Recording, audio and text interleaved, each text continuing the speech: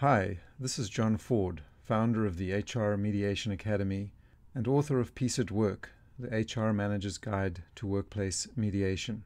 If you'd like to discover the myths about workplace bullying from leading workplace conflict experts Alan Sharland from the UK and Marlene Schwalge from the United States, then register for this moderated webinar. You'll learn the number one thing that makes the situation worse and the secrets to conducting a productive conversation with an employee who alleges bullying, and also a respectful conversation with the alleged bully, both without making things worse and in a manner that doesn't put you between a rock and a hard place. Both Alan and Marlene have years of experience with workplace conflict as mediators and trainers. They know what works from direct experience. Interestingly, they ended up coming to the same conclusions about bullying, even though they lived on different continents and hadn't met. That would be my role.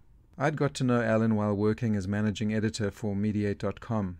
Alan was one of our key contributors in the United Kingdom. Since leaving Mediate.com, we've stayed in touch through social media. Early in 2014, Alan came out with an ebook, How to Resolve Bullying in the Workplace, Stepping Out of the Circle of Blame to create an effective outcome for all. It was different from the established dogma. I couldn't believe how much sense it made. It's what I'd been secretly thinking myself, but didn't feel safe expressing. And then the summer issue of the Association for Conflict Resolution newsletter came out with an article by Marlene Schwalge entitled Beyond Bullying, which is also the title of her upcoming book. In the article, her call was for us to elevate the conversation from labels, laws, and litigation and to restore respect in the workplace, even for the bully. I couldn't believe it. She was saying what Alan was saying. I didn't know Marlene, but I figured they must know one another. Just in case, I thought it wise to let Alan know. The rest is our happy history. Naturally, they fell in love with their ideas and, importantly, their practical and tested approaches that work.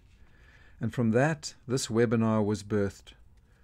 I'm the lucky host that will interview them and give you ample time to ask questions. In fact, we request that you engage now and let us know your questions on Facebook. The webinar is set for February the 4th at 11 a.m. Pacific Standard Time.